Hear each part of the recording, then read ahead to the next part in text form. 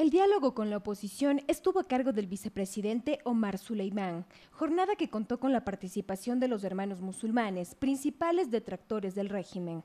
Suleimán se comprometió a poner fin a la ley de emergencia vigente en el país desde 1981. Antes de la primera semana de marzo se deberá nombrar un comité que realice reformas a la Constitución. El jefe de Estado Hosni Mubarak permanecerá al frente de la nación para supervisar los cambios hasta los comicios en el mes de septiembre. Para el secretario general de la ONU, una transición ordenada en Egipto es vital para el éxito del detenido proceso de paz en Medio Oriente. Lo que está sucediendo en Egipto y en otros lugares, en los países árabes, ha afectado a muchos líderes esto es lo que nos preocupa. Pese a las primeras negociaciones en la Plaza de la Liberación, miles de musulmanes y cristianos continúan reunidos. Las nuevas protestas fueron definidas como el Día de los Mártires. La plaza se ha convertido en el campamento de los manifestantes.